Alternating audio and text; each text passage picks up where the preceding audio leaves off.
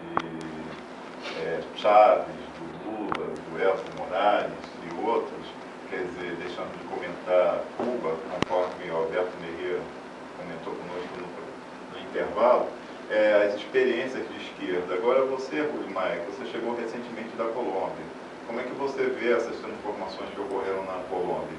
E poderíamos apostar aqui numa antípoda em relação Bom, é, acho que a antípoda é. É, Colômbia está um pouco mais atrapalhada aí no, no na elite de, da direita, e até o ponto que a esquerda virou verde. Então, a esquerda já, você tem governo de, de esquerda, não no governo, autogoverno, mas sim municipais eh, ou departamentais, eh, são, são de esquerda, como por exemplo a prefeitura de, de Medellín, que é um governo de esquerda, mas não entrou como um governo de esquerda, sino como, como um poder popular, sim? não entrou como, como com a tradicional o grupo comunista, o grupo socialista, não, eles entraram como um grupo de cidadãos. O nosso foco é a educação. A gente tem, tem a tendência de, claro, porque educação não é uma coisa separada, um, assunto que se separe do resto da sociedade, sempre entrando no aspecto da política, da sociologia, dos aspectos sociais. É, mas como é que o professor Vinícius, no primeiro segmento, estava, no segundo, estava comentando a educação do ponto de vista do que ele viu na Venezuela. Fez um documentário na Venezuela e estava falando das mudanças que ocorreram na universidade e no chamado nosso ensino médio. Como é que essas informações nesses últimos governos do RIB para cá, em relação a eles mexeram com a educação, como é que é a educação na Colômbia? Bom, é, é que, é que ter, temos que ter diferença também. Tem políticas do Prefeitura de Medellín, a Prefeitura de Cali, que tem políticas de educação, de formação, de formação com, a, eh, com a cidadania, mas não é uma política nacional. Você sabe que Medellín tem uma mudança que é significativa, que todo mundo está eh, olhando o que está acontecendo em Medellín, que depois da guerra de narcotráfico, eh, depois da morte de Paulo Escobar, e depois de uma guerra também muito, muito, muito dura contra outros chefes de narcotráfico, agora tem parques bibliotecas, tem muito apoio à cultura.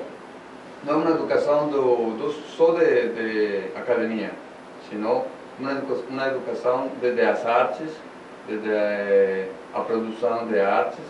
E ainda falta muito, mas é um grande esforço que um grande esforço que se está fazendo desde esta administração, de, é, o prefeito que temos agora, o prefeito de, de administração anterior, que, que aposta na cultura e, e acho significativo que a América Latina também comece a apostar a cultura, na cultura, como uma revolução para uma transformação social. Então, o, o projeto de Uribe, que teve continuidade nessa nova presidência, né, não conseguiu destruir essa força nas comunidades, você está falando de Medellín, né?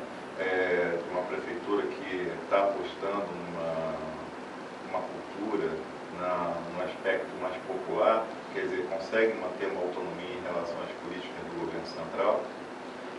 Tem, tem, tem uma autonomia. De, de fato, Medellín, sendo uma, uma cidade de 2 milhões, 2 milhões de habitantes, tem o orçamento da cultura mais alto da América Latina.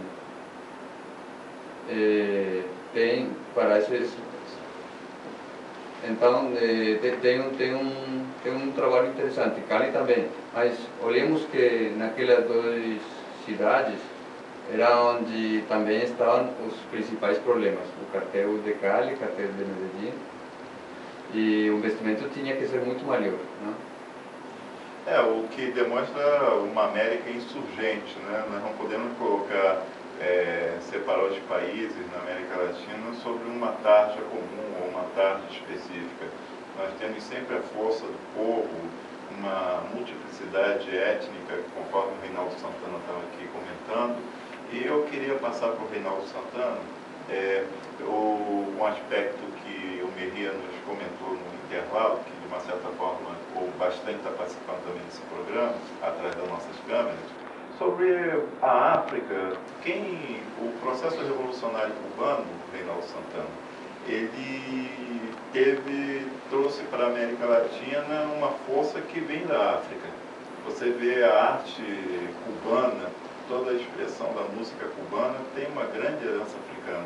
Como é que você vê isso repercutindo do ponto de vista do, da influência que Cuba trouxe para a América Latina na década de 60 para cá, do México, a Terra do Fogo, em relação a essa matriz africana?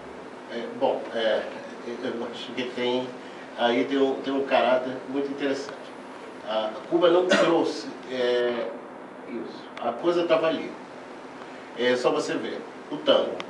O que, é o tango? É um ritmo essencialmente africano. Ah, não tem negros na Argentina? Tem, eles estavam ali escondidinhos.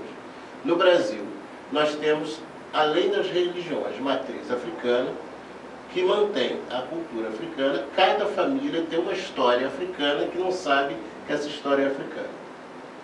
E o brasileiro, a cultura negra, ela sempre permeou e combateu o racismo de sua forma, de, de, de sua abrangência.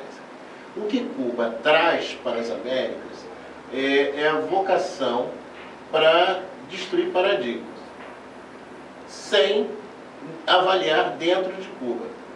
Por que eu falo isso? Cuba tem um grande problema racial dentro do, do país. Existe em Cuba o racismo exercido pela mestiçagem.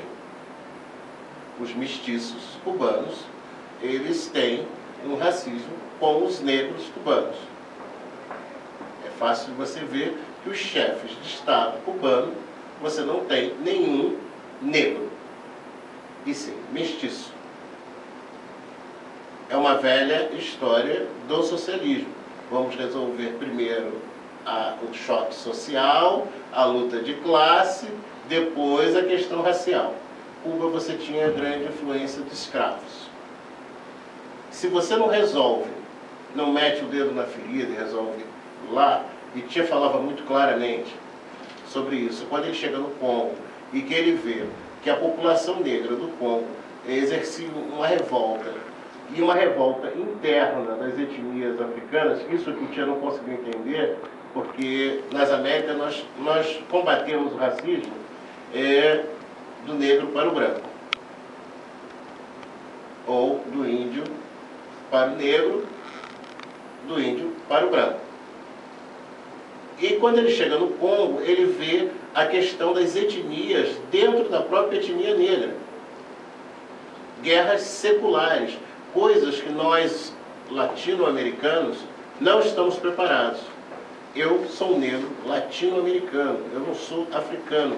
Então eu não posso entrar no discurso de discutir as questões seculares da guerra do Reino do Congo contra o Reino da Etiópia. Ou dentro do Reino do Congo, Choque, Lingala, é, Umbundo, Quimbundo. Eu não posso discutir, porque a única, o único reino que unificou todas essas etnias no Reino do Congo foi o reino de Rainhazinga que foi em 1848, 42. Então, não tem, assim, nós não temos uma discussão e o, Che, quando ele, ele se depara com esse processo, ele depara com uma revolução contra o imperialismo e se depara com uma revolução dentro da revolução. Tem um filme que, que discute muito isso, que é, é Tiros de Ruanda. É, é, é, uma revolução dentro da revolução. E você não consegue é, instaurar é, um Estado, essencialmente, porque era um Estado monárquico. As pessoas, o africano é essencialmente monárquico. Ele se organiza como, primeiramente, você tem as organizações oficiais e agora as organizações tradicionais. Todos eles têm um griot e um soba. O soba é o líder daquela região por nascimento. O griot por nascimento. O griot é o, é o patriarca das leis, é quem segura as histórias e as leis do povo, e o soba, o líder regional, é, organiza aquela população. Então, a África, ela é monarquista. Então, nós temos uma África é, conversando com uma democracia e ela ainda tem um pensamento monarquista. Então, das contradições, e olha que eu já visitei é, nove a dez países africanos e a contradição é muito grande. E a diferença do negro latino-americano para o negro africano, ela é muito grande. Eu acho que sim, então são coisas que a gente mergulharia muito mais na cultura africana, que essencialmente passa pela educação. Que eu acho que a gente também tem um bloco de discutir muito isso. Tá? Obrigado, Reinaldo Santana. Eu vou terminar esse segmento com a contribuição do professor Vinícius, né, que possa comentar os aspectos que o Rui Maia e o Reinaldo Santana apresentaram nesse segmento e já adiantando para os telespectadores que no próximo programa nós teremos a cônsul da Bolívia presente, a, como se inserir a questão e vamos dar uma outra dinâmica ao programa, discutindo a América Latina, ampliando e aprofundando essas questões. Passando agora para o término do programa, o professor Vinícius. É, eu também acho que o socialismo, chamado socialismo real, ele um dos grandes erros, talvez até o erro fundamental, foi não levar em conta as diversidades dentro de cada, de cada país, né? Ou seja, e, e ele quis impor de cima para baixo um modelo socialista que saísse da União Soviética e atingisse todos os países né, do mundo. E isso, isso não deu certo. Eu acho que o socialismo tem que ser, antes de tudo, democrático. E ser democrático significa é que tem que dar a autonomia e, e a, a, a, que o socialismo vem de, cima, de baixo para cima e não de cima para baixo. Né? E de, de, baixo para cima significa é, a cultura local. As culturas, as culturas locais têm que ser protagonistas. Né? Aí a cultura indígena, a cultura negra, a cultura também que veio lá da Europa. Né? Ou seja, não é por isso que nós vamos jogar no lixo Mozart, Beethoven, o bom cinema europeu, o bom cinema americano. Né? O, que, nós temos que levar em conta é que nós não podemos mais sermos colonizados. Ou seja, isso aqui não pode ser mais colônia, nem, nem a América Latina, nem a África, nem, nem qualquer país né? do, do mundo atual. Né?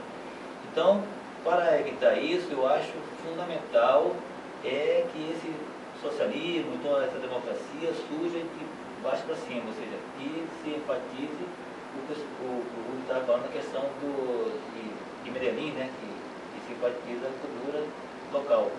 Né? Ótimo. Obrigado. Obrigado, telespectadores, em assistir nosso programa.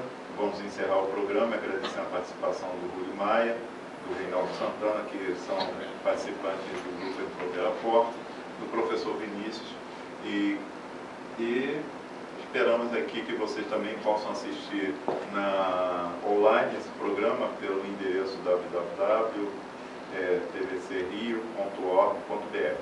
Até o próximo programa.